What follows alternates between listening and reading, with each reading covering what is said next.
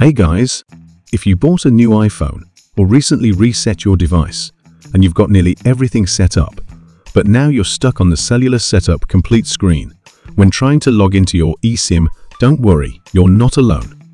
There are a lot of people experiencing the same issue on Apple Community and Reddit. But no worries, I'm here to help you fix this problem today. So let's get started.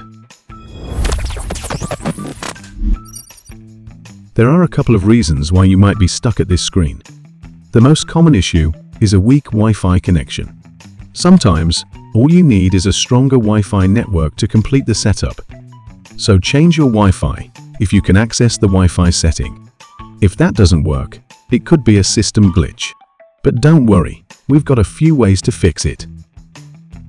The first thing you should try is a force restart. This can clear up most system hiccups. Quickly press and release the volume up and the volume down button. Then hold down the side button until the Apple logo appears. After your iPhone restarts, check to see if your eSIM is logged in. If it still doesn't work, try logging into your eSIM again. If nearby iPhone transfer didn't work, you can choose to scan the eSIM code manually. One of these methods should do the trick. If the force restart didn't solve it, the next step is to reset your network settings. Here's how to reset network settings.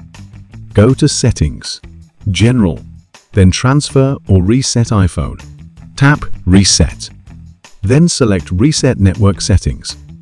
Don't worry, this won't delete any of your photos or personal data, but you will need to reconnect to your Wi-Fi afterward.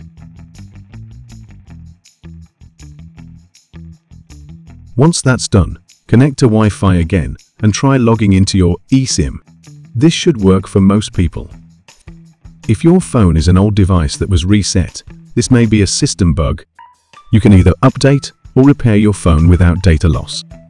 Since the iPhone 16 is out, the iOS 18 has a new update to fix the potential bugs. You can check and see if you can update your phone. Or you can try a system repair with no data loss using a tool like ReiBoot. ReiBoot is award-winning iOS repair software. It can detect your phone's issue and help you fix it without data loss. Locate the System Repair option and click the green Start button.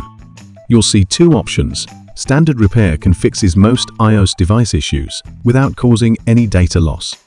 Deep Repair may cause data loss, but can handle more difficult problems. Try standard repair first if you have any system issues. By following the process, your iPhone will return to normal with all your apps and data intact. It supports the latest iOS version, so go try it. If you've tried both of these methods and you're still stuck, it might be time to contact your carrier, and they might need to check if your eSIM and the cellular plan is suitable for your new phone from their system. Okay, hopefully one of these solutions helps you get past the cellular setup complete screen. If you found this video helpful, don't forget to hit the like button and subscribe for more troubleshooting tips. Thanks for watching, and I'll see you in the next video.